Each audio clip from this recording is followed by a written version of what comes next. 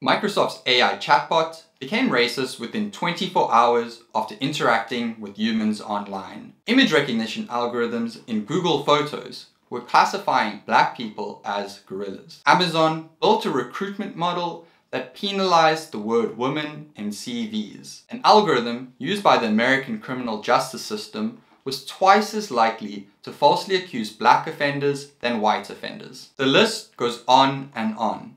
If left unchecked, AI is consistently shown to produce biased results. This is where the field of algorithm fairness comes in. We're going to discuss this field and what it aims to achieve. Along the way, we'll touch on topics like the reason for unfairness, how to measure it and prevent it. And keep an eye out for links to videos that go into more depth. You can also check out the companion article in the description. This contains a bunch of links and references.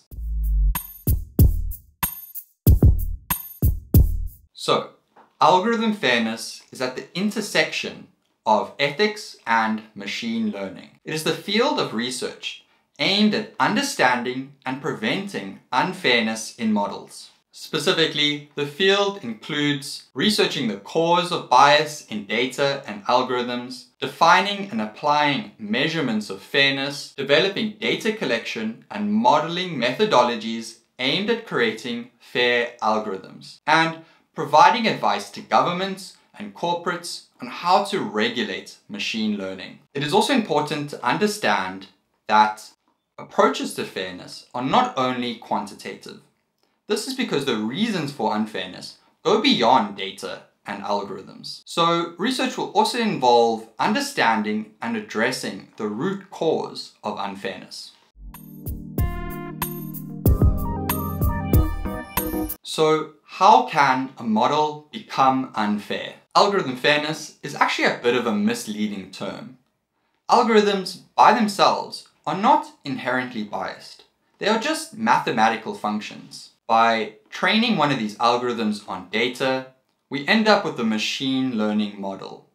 It is the introduction of biased data that can lead to a biased model. That being said, our choices around algorithms can still amplify these biases. Data can be biased for different reasons. The data can reflect historical injustice. It could be due to a lack of minority representation in our dataset. It could also be due to model features that are highly associated with sensitive attributes like race or gender. Critically, what we want to avoid is a negative feedback loop. If users interact with a biased model, this can produce more biased data, which can then enforce bias in future model builds. Much of algorithm fairness research aims at developing methods to analyze and measure unfairness. This can involve analyzing data for the potential reasons of unfairness that we just mentioned. It also involves measuring unfairness in model predictions. We can measure fairness in predictions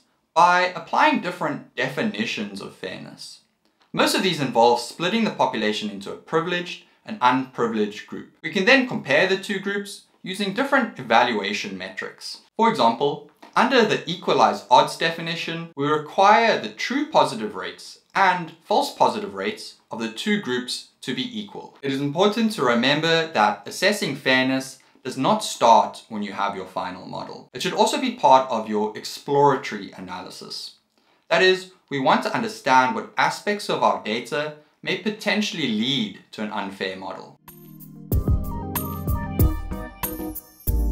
If we discover that our model is unfair, we would naturally want to correct it. Various quantitative measures have been developed. These are divided into three groups based on which stage during the model development process they are applied. We have pre-processing methods which modify data, in-processing methods which modify algorithms, and post-processing methods, which modify predictions. An example of a pre-processing method is disparate impact removal. This works by modifying features so the distribution for two groups becomes similar. We must remember that fairness is a complicated issue and all quantitative approaches will have their limitations. To fully address unfairness, we will also need non-quantitative approaches. These include addressing the root cause of unfairness, having an awareness of the problem of unfair models, and investing in a diverse team. Interpretability is also an important aspect. We must be able to understand